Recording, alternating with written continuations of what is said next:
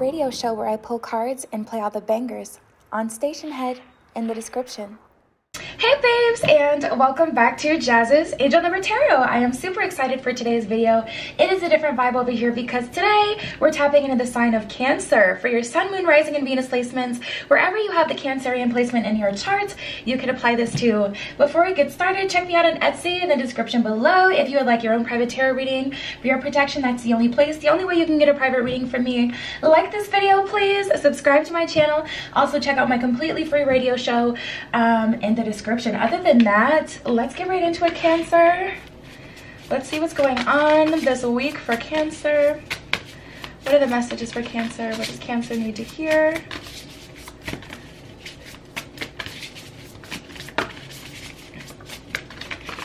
What are the messages for Cancer? What is going on for Cancer this week?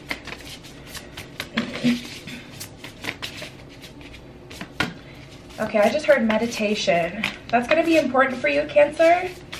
It's going to be important that you're centered and tapped into what you want. I'm immediately kind of feeling like a, an opportunity come up here. And it's not that it's a good opportunity, it's not that it's a bad opportunity, but it is important for you to be tapped in and centered to yourself so that you can make a conscious decision as far as what you want to do, where you want things to go, if you're ready for the opportunity coming through, if that's where you see your life kind of going. Yeah, it's very important to be tapped in Cancer. Okay, that one wanted to come out, so let's get into it. We have the Five of Air here. This is the first place that my eyes immediately go uh, this one says, an unwise choice. There's a better way that will make you happier. Avoid people who lack integrity or people who have questionable motives. So honestly, Cancer, I kind of feel like, you know, all that you've been through has led you to here. And I know that sounds dramatic, but it's just like the most recent lessons you've been learning lately about having boundaries, about, you know, only indulging in things that you consciously think about beforehand. All of that is needed now it's very important for you to just be conscious of the decisions that you're making. We have the 10 of fire here. Working too hard or too many hours the needs for the need for balance in your life let others help you. Health problems due to stress. Hmm if you need to let go of something cancer you're going to have to let go during this time. If you choose to hold on to something cancer make sure that that is the right thing for you. Be sure of the decision that you're making. We have the wheel so it's like we have all of the good energy here. It's just a little nerve-wracking there's definitely some pressure with this. A new start or the end of delays sudden or unexpected progress a very positive change in your life travel uh, or a new vehicle so definitely um, you may be doing some car shopping. I personally actually am right now.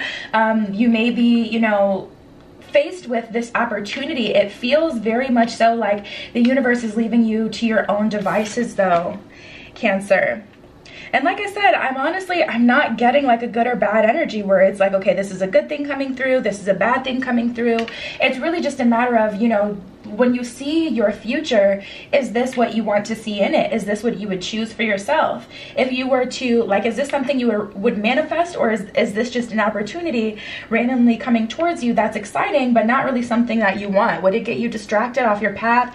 Do you have a predetermined path for yourself? Is this, you know, something that seems like it's in alignment with what you want.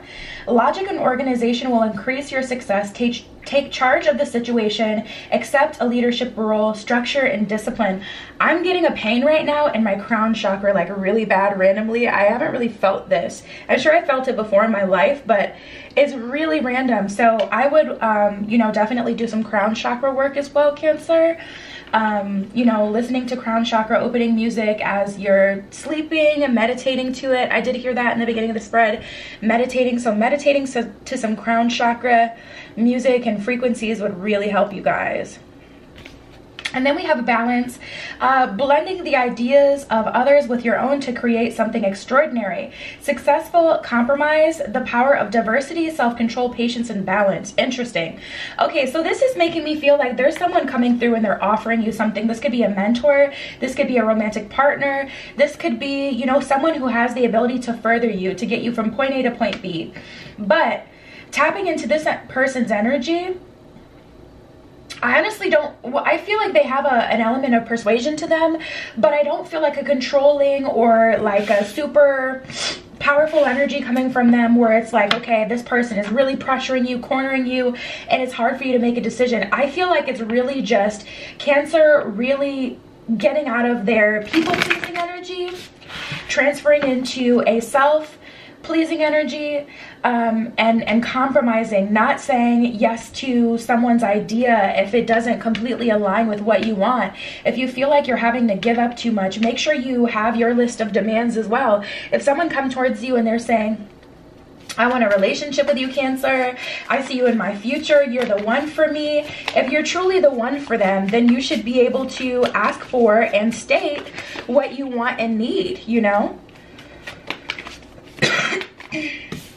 Two of Swords in reverse that just came out, you know, not um, acknowledging how you feel or what you want out of the situation, not stating and being clear about your desires will not benefit you because and yeah it makes sense why i was getting more of a neutral energy. It's not a negative energy where someone is trying to force you to do something bad but you could end up in a five of swords situation all on your lonesome. You can end up in a five of swords situation making unwise choices giving way more than you should because you set that expectation that that's okay or you set the expectation that you're one of those people who just have a lot to give. That's the thing. Like you know some people have a whole lot to give. They don't mind doing that extra stuff. It genuinely benefits like for an example some women just like that traditional kind of uh, you know role.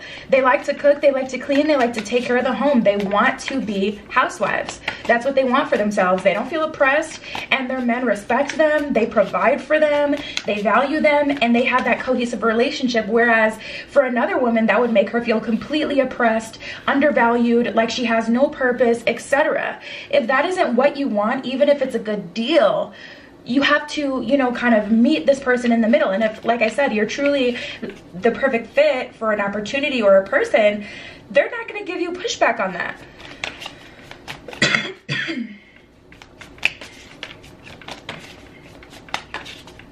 it's kind of a hard energy to explain but like i said it's not that there's a bad deal coming through or someone's trying to take advantage but there's an opportunity coming through and you're gonna have to you know be clear about what you need. You can't go with the flow this time and you've already learned that oh wow we have the ten of cups here so cancer there may be some romance on the horizon for you guys which is super, super exciting. Ten of Cups, this is the perfect, well, um, this is a well-oiled machine. This is the perfect opportunity. Crazy how at the bottom of deck though, bottom of the deck, we have the Seven of Swords, which is definitely a very uh, self-sabotaging energy, a self-deprecating energy, not putting yourself first, not really valuing what it is that you need per se. So that energy is very present. You know, bottom of the deck represents the underlying energy of the situation.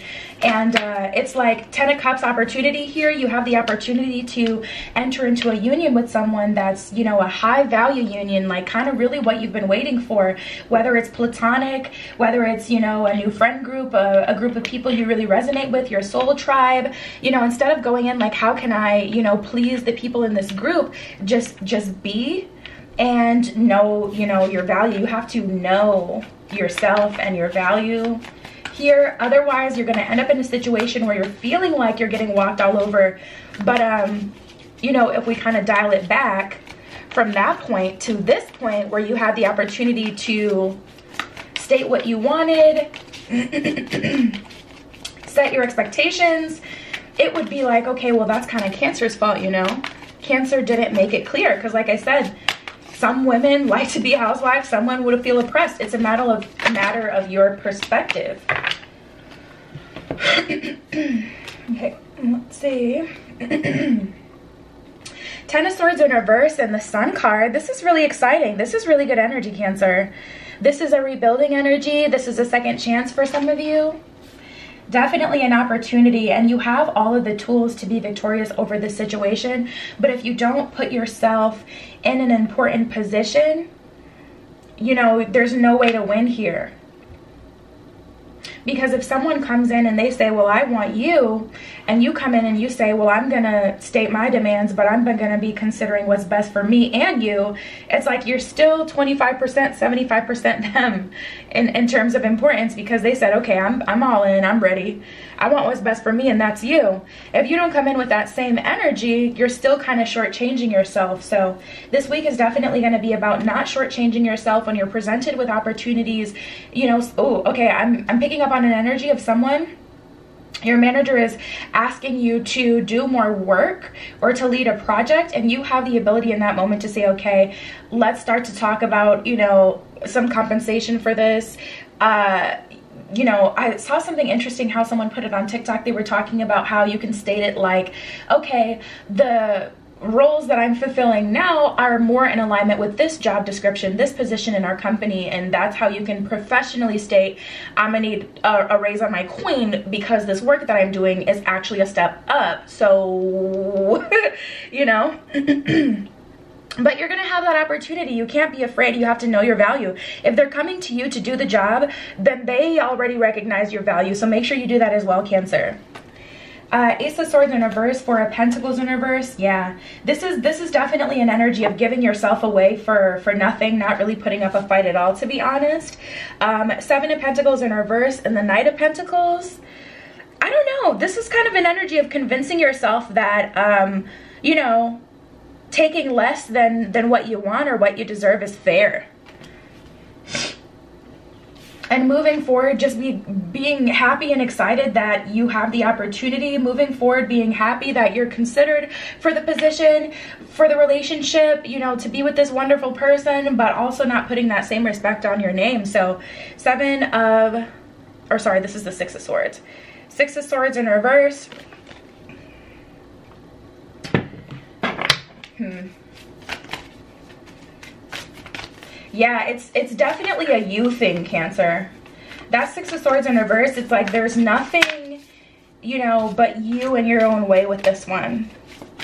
Let's see what's going on in romance. okay, so we have spiritual connection and ask for help. Spiritual connection, a relationship uh, has a connection that goes beyond this lifetime. So very powerful connection, very strong connection. Ask for help. What do you really need? Be willing to ask for and accept support is what this one says. So if you need to reach out to your guides, which is probably why my crown is having some pain right now because I can feel that pressure. It's like, oh, it's almost making me tired. I can feel that pressure. Some of you really have that crown block, so it's hard for you to, it's like your angels, your guides, they're screaming, like really wanting to connect with you, trying to reach out to you and talk to you, and they're having a hard time to the point where it's painful. If you've been getting a lot of headaches and a lot of fatigue, migraines, mood swings, those could all be uh, indication of this crown chakra block. Um, and then we have turn on your heart light Reflect on a time where you experienced love. Yeah, beautiful. Reflect on a time where you experienced love. Reflect on a time where you got everything you wanted. Now create that again you know whereas before you may have just experienced love but now you've kind of leveled up and been through a few relationships at this point and you've learned through things through those people that's why you were able to experience it it may not have been something that you necessarily fought for and went for. More so something the relationships in the past have kind of happened to you. But now it's time for you to create what it is that you're looking for moving forward by being honest with yourself, with other people.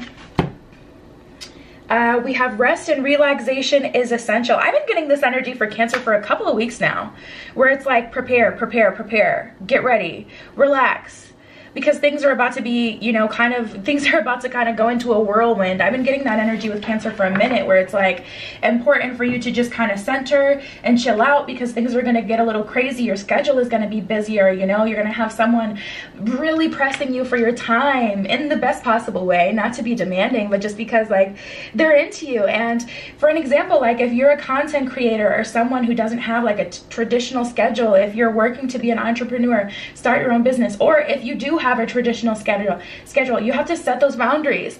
I can't talk to you on the phone every night, all night you know or i'm sorry i'm working right now. Like i can't talk to you. I know this is right like set those boundaries so that you don't get behind. Set those boundaries so you don't wake up in the morning. You got to be at your job at 8 a.m and you're tired. You can barely get out of bed. You know even on that level like when this comes through make sure you're consistently setting boundaries. And this isn't about telling someone what you you know deserve and yada yada yada and really going in this is about just you know being honest and not you know because like i said i don't feel like this is a manipulative a manipulative energy i can't say it right. I don't feel like it's that type of energy coming through cancer. It feels just like someone's just ready and willing and wanting to explore you and and spend time with you. And um, it's a time consuming you know phase you're kind of walking into cancer. And so it's just like you just have to you know state that. I don't feel like this person is trying to like rob you of your time. It's just like you have to kind of like set up those boundaries. Whereas before, you may have gotten all sorts of out of alignment in past connections because, you know, you gave up too much of yourself. We all have a fundamental need to take a break is what it says at the bottom of that one. Let's pull some of these.